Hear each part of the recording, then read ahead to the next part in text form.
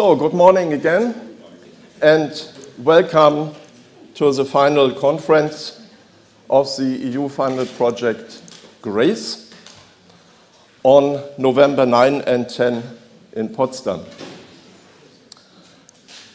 November 9. For us Germans, November 9 is a very historical day in a negative and also in a positive sense. On in the night from November 9 to November 10 in 1938, here in Germany there was a so-called Reichskristallnacht, resulting in the Holocaust. And on the other hand, on November 9, 1989, the wall in Berlin was broken and was falling down. As a result of the peaceful revolution in the eastern part of Germany and uh, resulting in the German unification. So, a very historical day, and therefore I would like to start with my talk showing you a nice photo my daughter made about 15 years, 20 years ago.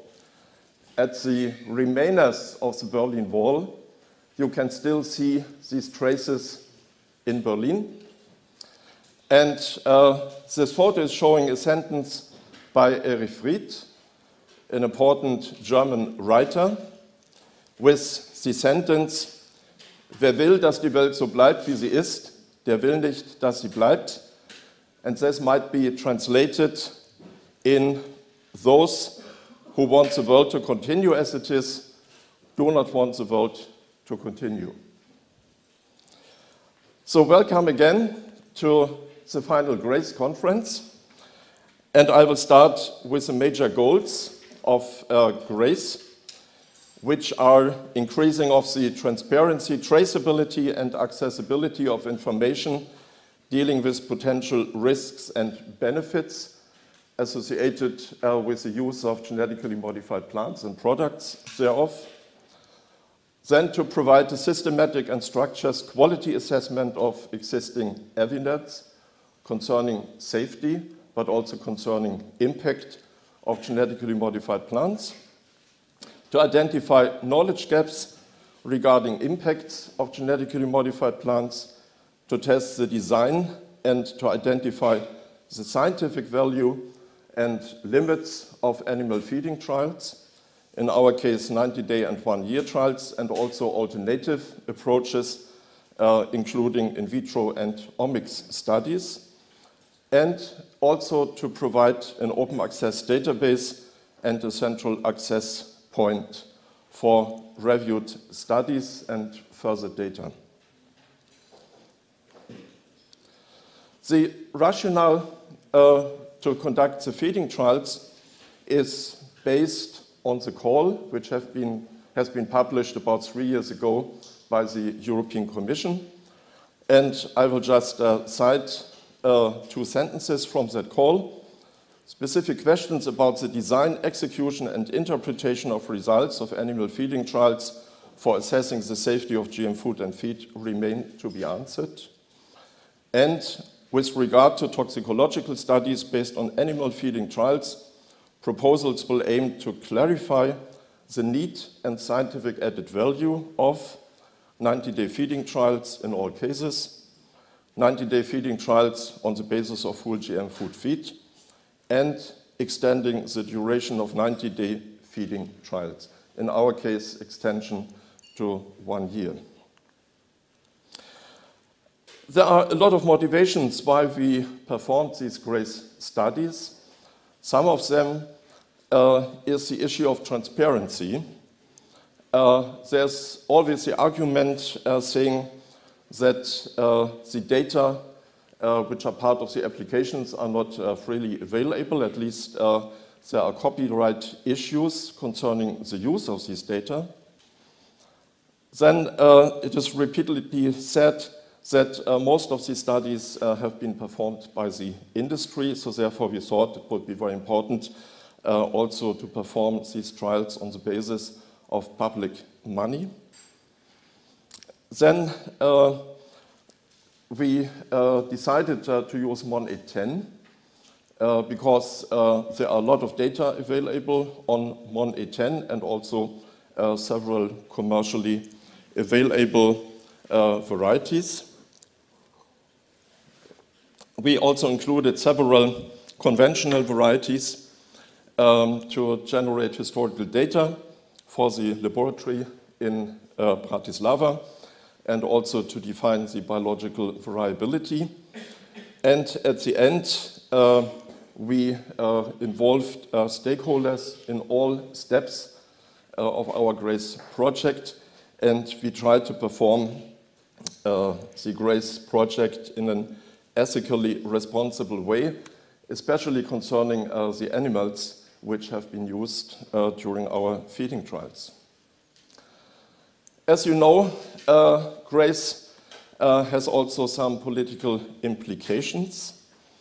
Uh, the implementing regulation 503 requests uh, for the mandatory performance of 90-day feeding trials, and I will just uh, cite uh, two sentences from Article 12 of that Commission implementing regulation, saying that at first, the Commission shall monitoring the application of this regulation, the developments in scientific knowledge on replacement, reduction and refinement of animal use in scientific procedures and the publication of new guidance from EFSA. The Commission shall in particular monitor the outcome of the research project called GRACE. And second, the Commission shall review the requirement to perform 90-day feeding studies in rodents with whole genetically modified food feed on the basis of new scientific information. The results of this review shall be published by June 30 next year at the latest. Uh, therefore, we decided uh, already to provide uh, conclusions and recommendations from our animal feeding trials and alternative approaches we have been discussing uh, the drafts of these conclusions and recommendation, uh, recommendations uh, during our stakeholder workshop in October this year. Uh, these uh, conclusions and recommendations are provided in the booklet, which is part of your folder you have got today in the morning. And these are also included in the respective talks to be provided today. And these conclusions and recommendations are dealing with uh, the five topics design, performance, and interpretation of animal feeding trials with whole food feed for GMO risk assessment, analysis of plant material in vitro cell and tissue culture, general considerations from animal feeding trials, and uh, the issue of the three R replacement, reduction, and refinement. As you know, uh, GRACE uh, has two parts, two main approaches. And uh, the rationale for the evidence synthesis part uh, also is uh, based on the call published three years ago. And I will again cite from that. Environmental, health, and socio-economic effects of GMOs have been the subject of scientific analysis. However, a comprehensive review of national, EU, and international research activities in this regard and in view of any potential benefits of GMOs is missing. Again, impact analysis, risks and benefits. And collection and review of information must take account of scientific quality and could be based on an open access database. Uh, the motivation uh, in this respect, for this part of GRACE, was to promote comprehensive reviews, to address specific questions of concern, and to go beyond the already existing narrative reviews. And uh, we have been performing uh, evidence synthesis uh, in three main parts. Concerning human animal health, concerning social economy, and also concerning possible environmental impacts of genetically modified plants. and we provided uh, a harmonized uh, framework for the evidence synthesis. Our motivation was also uh, to improve the transparency, availability, and presentation of the scientific information in order to provide better understanding for all stakeholders and the general public. And we made it by uh, the use of standardized and reproducible reviewing procedures by active stakeholder involvement. I think here we have been really setting the scene by establishing an open access database and uh, also by establishing a central access point. We had uh, 20 partner institutions working together with us in the GRACE project from different European countries, also representing uh, universities, representing SMEs, representing governmental institutions. So already in the frame of GRACE, uh, there was a very broad uh, stakeholder involvement. And uh, as I said, we have been following two major work streams. On the left side, uh, you will see uh, the tasks uh, concerning the feeding trials, evaluation and recommendations on methodologies, two work packages, subchronic and chronic toxicity studies, alternative approaches for commercialized uh, genetically modified food and feed. And both work packages have been supported by a task force, also including experts outside uh, of GRACE. Then uh, the second uh, work stream, uh, the reviews on impacts of genetically modified plants, health impacts, uh, socioeconomic impacts and possible environmental impacts. And these three work packages have been supported by a work package uh, developing a good practice for reviews in uh, GMP impact assessment. Then, in addition, uh, we had a work package dealing with database uh, technology and networking, and a work package uh, dealing with stakeholder and user involvement. And of course, uh, we had two additional work packages dealing with management issues and dealing with uh, communication and dissemination. Uh, stakeholder involvement and communication. We have been performing stakeholder involvement uh, in a two-step procedure in an open and uh, non-selective way uh, with full transparency, with uh, multiple mechanisms uh, for the dialogue with the stakeholders and also by tracking uh, the stakeholder comments. Just a few figures from that stakeholder involvement and communication activities. Uh, we had between 32 and 56 uh, stakeholder participants at each uh, GRACE workshop. As you know, we have been performing several stakeholder workshops in the frame of GRACE. In these workshops, all major stakeholder groups have been represented, also a broad spectrum of uh, European member states.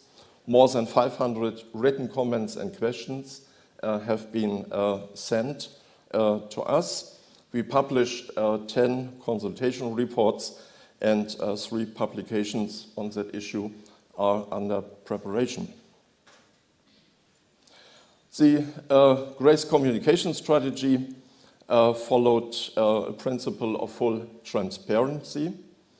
We established a website which will be continued after the end of GRACE. All information is freely accessible not only uh, information from our stakeholder dialogues, but also uh, any kind of information from our feeding trials, from our systematic reviews, and so on. All steps of the stakeholder engagement are well documented. Uh, we tried very hard to answer uh, any requests uh, from the journalists. Uh, we also reacted in a fully transparent way on uh, critics and accusations. Uh, all these uh, debates are uh, reflected on our GRACE webpage, and we established a scientific discussion forum in the archives of toxicology. So this is uh, just a short uh, overview uh, about the CADIMA database, which contains a lot of tools. tools, for example, for the evidence synthesis, uh, which is uh, accessible by policymakers, the general public, scientists, risk assessors, so by users in general, and uh, also provides a lot of links to important other database bases dealing with biosafety and also impact assessment of genetically modified plants. And this is done in a close col uh, collaboration with uh, the Collaboration for Environmental Evidence. Uh, concerning the evidence uh, synthesis, uh, in the uh, frame of potential environmental impacts, uh, six review topics have been covered. Concerning uh, human and animal health impacts, four review topics. Concerning potential socio-economic impacts, four review topics. Seven peer-reviewed protocols are already available, and the final manuscripts are under preparation for each of these review topics. And we already published uh, proposals for a good review and practice. Uh, one of these uh, publications is uh, answer is uh, um, answering the question, can systematic reviews inform GMO risk assessment and risk management? At least we are trying to answer that quite difficult questions. Uh, concerning uh, the feeding trials and alternative approaches, uh, we have been using plant material MON 810, two different MON 810 varieties, so the event in two different genetic backgrounds. Uh, we have been using the respective near isogenic controls. In addition, we have been using four conventional maize varieties. We have been performing uh, a quite diverse set of uh, test approaches two 90-day feeding trials, one longitudinal and metabolomic study, also 90 days, one one-year feeding trial, then uh, several uh, omics analyses uh, on animal tissues and also on plant material, and also in vitro cell-based assays. And we have done that in close cooperation. Uh, for example, uh, with the also EU-funded uh, project G-TwYST. We have been using MON 810. Uh, G-TwYST is using NK603, but we are cooperating uh, closely together. So concerning uh, the achievements of the feeding trials and alternative approaches, GRACE has been provided a unique set of comparable data in order to draw conclusions on the appropriateness of design, execution, and interpretation of rodent feeding trials and in vitro studies with whole food feed for being considered in the risk assessment of genetically modified crops. All the raw data have been made published, uh, have been made public and will also be made uh, public on the CADIMA uh, database or in case uh, the documents are too large, then of course, uh, so that we are not able to place it uh, on the website, then anybody who is interested can approach um, the respective partners from GRACE and can get the access to these data. Um, then, um, until now, we have been publishing uh, five uh, papers in peer-reviewed journals. There are nine uh, additional uh, papers uh, under preparation, and Grace identified the need to promote and explore synergistic effects between research projects. Uh, as I already mentioned, uh, a close cooperation um, with the EU Fund project G-TwYST and uh, we also established a very close uh, cooperation with uh, the project GMO 90 Plus, which is funded by the French government. And as you can see here, uh, we took care for comparability, complementarity, and also synergy between the uh, three different projects regarding exchange of plant material, uh, exchange uh, of animal material, exchange of protocols, and also at the end, uh, agreement on publications uh, of the data.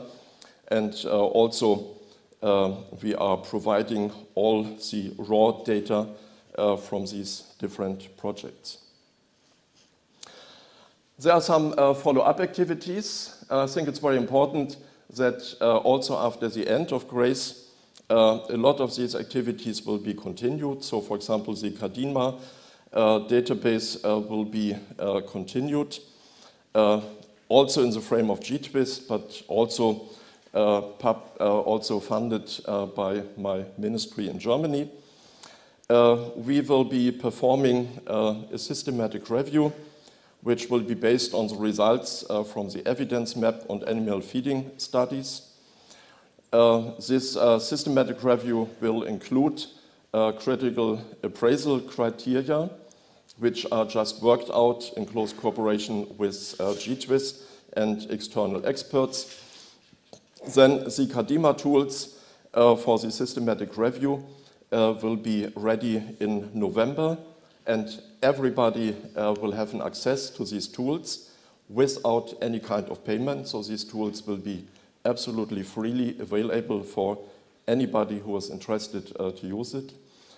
Then uh, we decided uh, to organize a training workshop in April next year uh, to explain how to use these tools and uh, to, uh, so real on-spot training how to perform systematic reviews.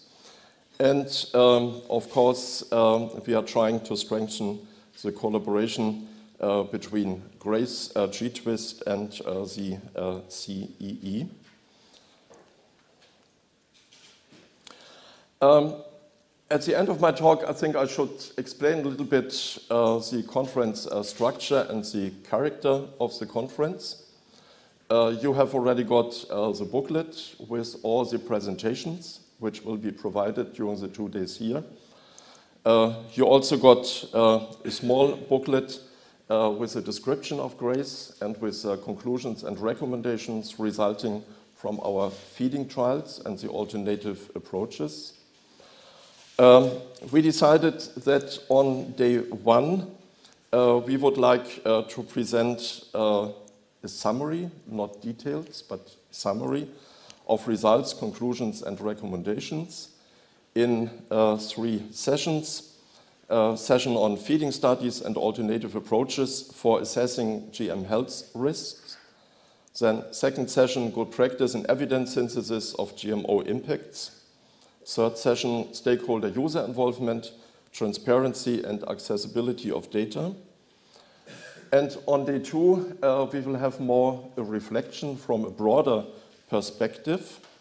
Uh, we will reflect on lessons learned then uh, we will get comments from different perspectives, so from different uh, related EU-funded, but also other, uh, for example, GMO 90 plus uh, funded projects. Uh, we will discuss about uh, future research needs, also about implications of GRACE and related research projects. We will reflect on systematic reviews and evidence maps in GMO risk, assess, uh, GMO risk and benefit assessment.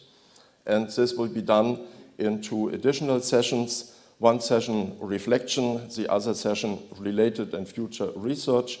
And at the end, we will have two round tables. So, thank you very much, and I can then...